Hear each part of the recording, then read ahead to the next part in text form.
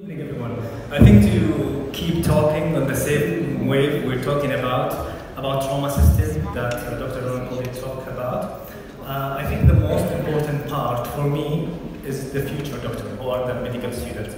So the talk will be talking about teaching medical students trauma and we're going to talk about our experience in Jordan. So the outline will be starting with what is team course. There's a course called team, we're going to talk about it. Why team course, number of participants that we had taught, and finally we're going to have the feedback for, from the students and us as instructors.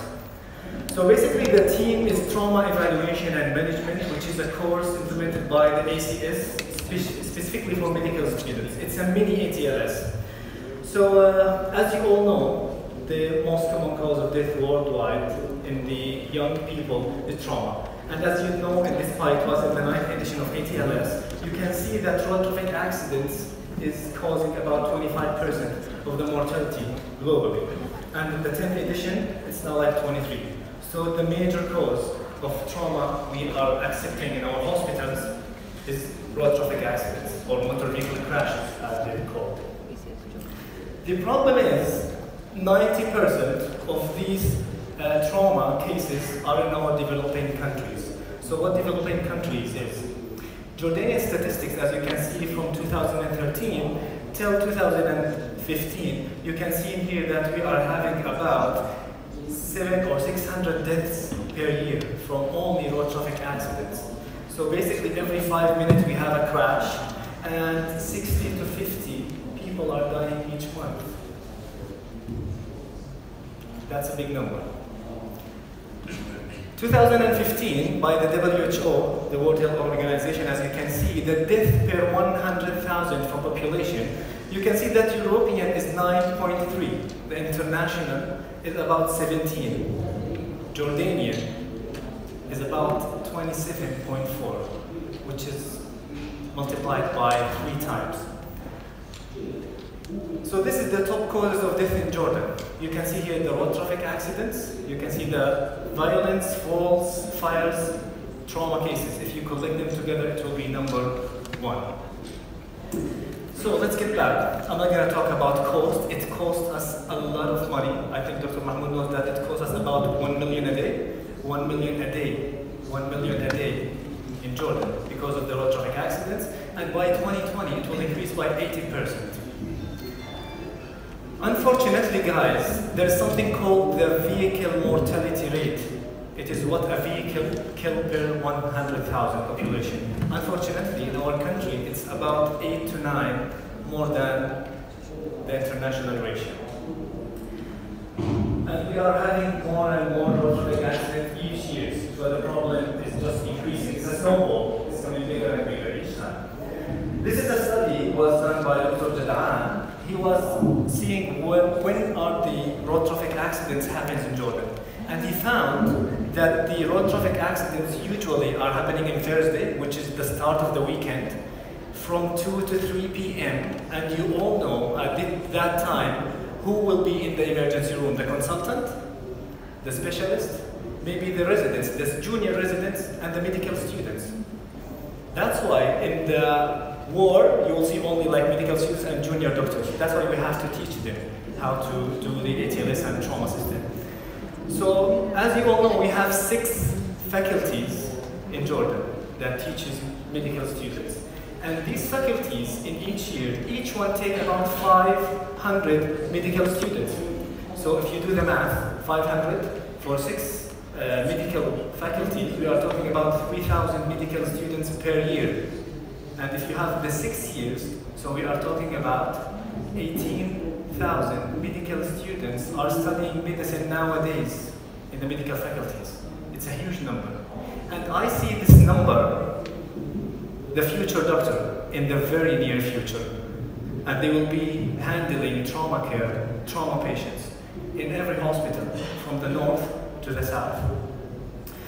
So back to the uh, team course. So the team course, we give them like an initial assessment video and we have feedback, then go for a slide lecture talking about trauma system and how to manipulate and we are going to a teamwork. We need uh, uh, people who will take the ATLS course and so on. And we are teaching them how to work as a team. The team leader, someone for the airway. This is the principle that we are having today. We are having a team course. Then we are going distribute them to two groups, practical and discussion. They will go to the practical, they have scenario, we give them scenario and we have a simulated patient and they are practicing ATLS, principles, ABCs on them, and the other group will go for case discussions. Finally, after finishing that, they will have an exam, which is an MCQ exam. It's like uh, 25 questions by the American College of Surgeons, and then they have the feedback form. And this feedback form is very important for us to improve. So, uh, talking about team courses. Uh, we here in Jordan started in 2016 after the first ACS Congress.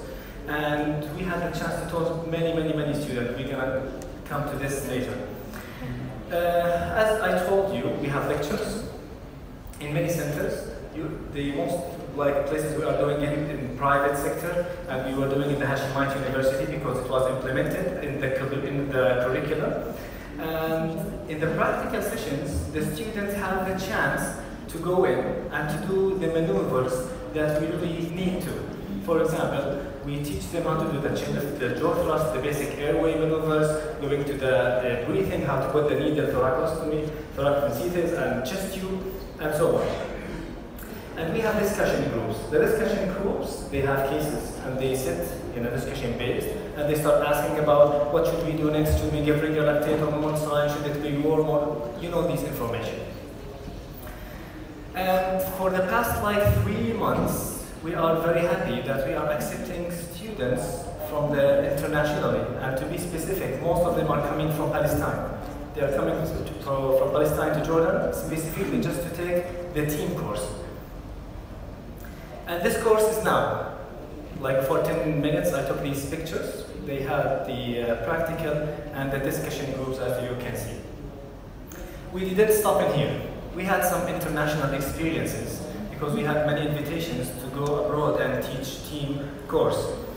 In Romania, we had the chance two times to go to Iași, two years, 2018 and 19, and we had to give there like two times team.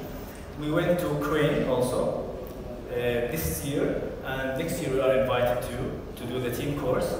Belgium, in Antwerp University, we did a team course too, and in Romania, Bucharest, 2017, 18, and in December next time, we're gonna give also team courses there. So in 2016, when we started the ATLS, we have trained about 450 medical students. In 2017, about 330. In 2018, about 236. And this year, until now, we had taught 2016 medical students. Next week, um, me and Dr. Mahmoud, we are going to Palestine, to uh, Nablus, to teach some medical students trauma evaluation and management too. And we have one in October and in December on international basis. So if you look at the whole courses since 2016, we trained heavily, like 1,600 medical students, which is a very good number. The 106 uh, the 1,600 medical students, they gave us all feedback. And we took this feedback and we put it like here to give them for the ACS so we can improve the team course. So the things went well. They like mostly about the, AT, the team course that the knowledge is very important. You know that medical students, they go into surgery department, vascular, thoracic surgery, and most of the cases, as I told you before, is trauma. And if you, if the senior tells the medical student, yeah, go to the ER and cover these patients and so on, he will see trauma, and he doesn't know how to deal or how to manage these cases. So after the course, they were like, yeah, now I know how to do, yeah, let's start. ABC is airway, okay, I'm gonna go check airway. So they have something in mind now going on to treat the trauma patients. And it made them things really, really faster with the ATLS protocol, because in the team, we are going like, okay, go ABCs. They have the discussion, the practical, so they are doing it like five, six times. So it's implemented now in their mind. It's like flowing of the information. They make it, the, the team course made the medical students very confident now to go into trauma patients. Because the first time when you face a trauma patient, the first time and you know nothing about trauma, you'll be scared, oh, what should I do next? Um, the people are here, the family around you, everyone is screaming, what should I do now? Uh, the practical part for, part for them was the best because these maneuvers, I think you all hear that, that someone died because he swallowed his tongue, for example. And medical students, when they see someone on the ground, what should I do? I'm the doctor in here. How can I deal with this patient? So this fear is going away with trauma evaluation and management. And the good thing also, it pushes them to go to the ATLS. So the people who are taking the trauma evaluation and management, it's an eye-opener for them for the ATLS. Why shouldn't I go and take the ATLS? And we are looking for them to be instructor potentials. They will be instructors with us and teach ATLS. Things to improve. There are many ways or fields or areas to improve in the team course actually. First of all, the time for the practical. You know, one hour for a practical is not so much because they have many, many, many maneuvers today. So they wanted us to increase the time.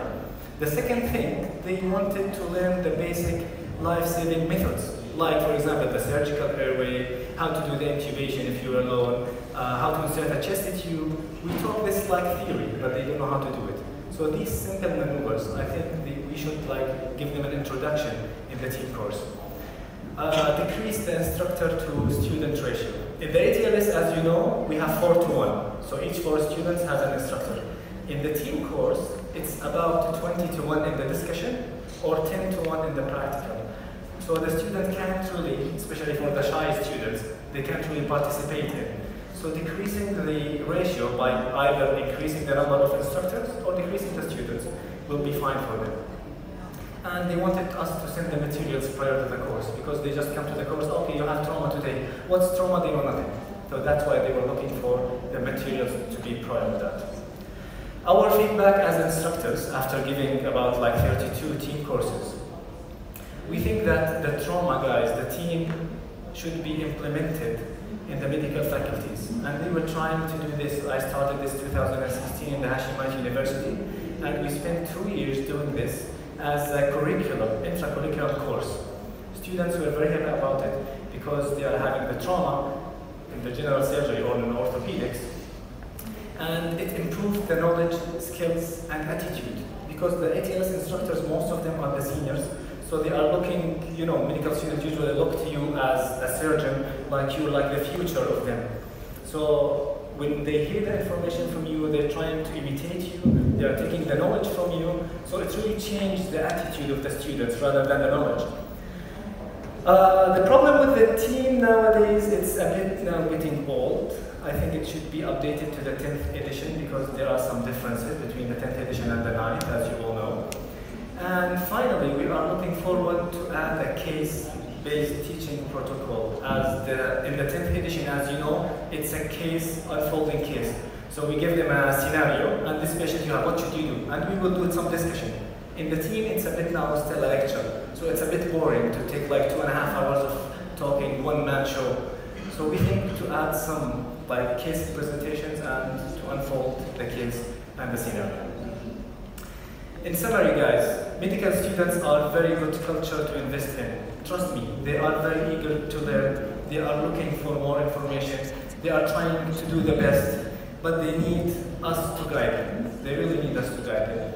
Trauma management really should be implemented in all medical schools because what kills first comes first, trauma kills first. So we have to implement trauma. Uh, team courses are really spectacular, but they have many fields of improvement. And finally, we should help our future doctors, the medical students, always to improve. And I will finish with this slide. They say it is very good to be a king. It's very good to be the king. But it's really better to be king's maker. And I see the students can be the kings in the future. Thank you very much.